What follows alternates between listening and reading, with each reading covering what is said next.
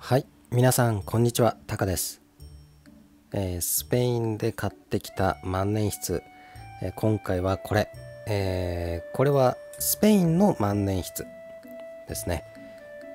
えっ、とねイノックスクロムというブランド。イノックスクロム、えスペインのブランドです。スペインのブランド僕初じゃないかな。うん。はい。でこのケースがなかなかねかっこいいです。これマグネット。ね。うん。なんかいい感じです。はい。で登場したのがこちら。えーちなみにこのいくらだっけ？16.9ユーロ。結構安いと思います。2000円ぐらいですね。うん。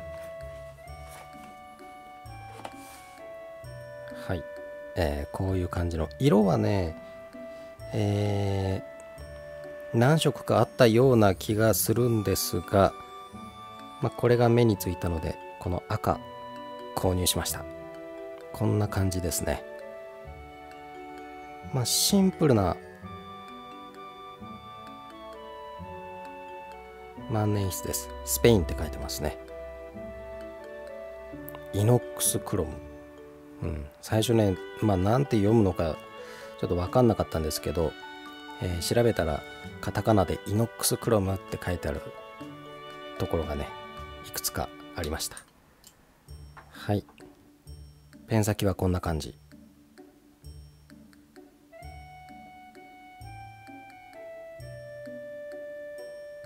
このペン先にもイノックスクロムスペインって書いてますね。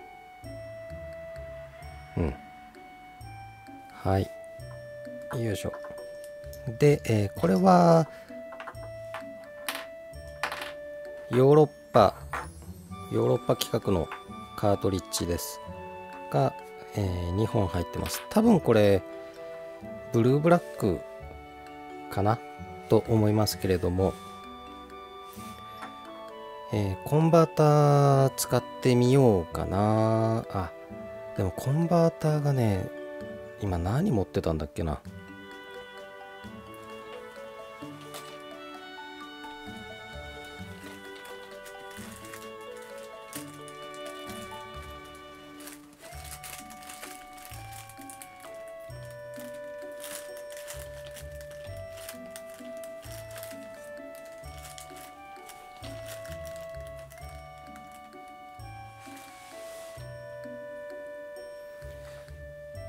とりあえずね今すぐに使えそうなコンバーターはこれ中国のやつかな。あのまとめて買ったやつ。これがはいあ。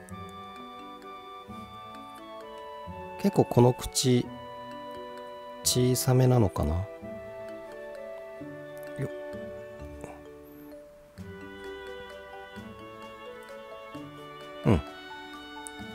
入りますね。OK ですね。はい。えーとねこれ2部は2部の太さ2部はね何っていうの書いてないんですよね。えーちょっと不明です、えー書いてみないとわからない。うん。はい。とりあえずこの中華コンバーターがはまりました。うん。OK ですね。よし。まあ早速書いてみましょう。初イノックスクロム。スペインの万年筆。まあ軸が赤なんでちょっと赤系の色かな？を選んでみようかなと思います。これいってみようかな。色しずくのツツジ。うん。行ってみましょう。あーまあうん。うん。はいこれ。ちょっとね今あのカートリッジ。L 版のカートリッジもありかなと思ったけどまあコンバーターつけちゃったしこれで行ってみたいと思います。